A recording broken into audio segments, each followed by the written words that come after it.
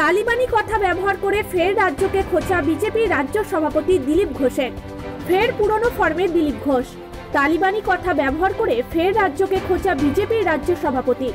পশ্চিম মেদিনীপুর জেলা জুড়ে শহীদ সম্মান যাত্রার অংশ নেয় মন্ত্রী সুভাষ সরকার, দিলীপ ঘোষ সহ অন্যান্য বিজেপি নেতৃত্বরা। খড়গপুরের খেমাশুলি থেকে যাত্রা শুরু হয়ে একে একে খড়গপুর, মেদিনীপুর ডেবরা হয়ে আরামবাগ যাবে। সকালে খড়গপুরের রাম মন্দির এলাকায় চা চক্র ও সংবর্ধনা সভায় ফের পুরনো ফর্মে দিলীপ ঘোষ।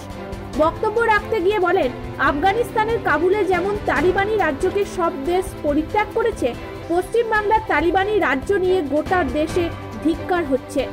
আর কোর্ট দেখিয়ে দিয়েছে, এখানে অন্যায় হয়েছে। দিদিমণি বলেছিলেন, কিছু হয়নি। এবার আপনার ভাইকে বলে রাখুন, কিছু হবে। অন্যদিকে কোর্টের রায়কে স্বাগত জানিয়েছেন দিলীপ ঘোষ। রাজ্যের মুখ্যমন্ত্রীকে কটাক্ষ করে বলেন, মন্ত্রী এমএলএদের অ্যারেস্ট করা হয়, বিধানসভার বিরোধী নেতাকে অ্যারেস্ট করা হয়। এই তালিবানি রাজ্য আমরা চলতে দেব না।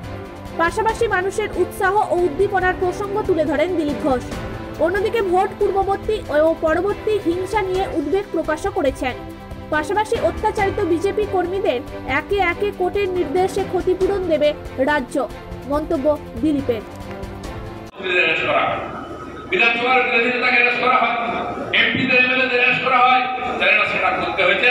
তার জন্য কালকে আমার দিছি, প্রমাণিকের নামে কেস করেছে। এই তালিবানি রাজ্য আমরা চলতে দেবো না।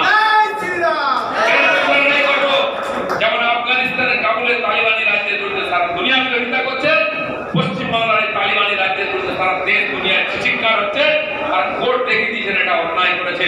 যে দিদিমণি বলেছিলেন, কিচ্ছু হয়নি। কিছু হয়নি আর কিছু হবে আপনার দায়িত্ব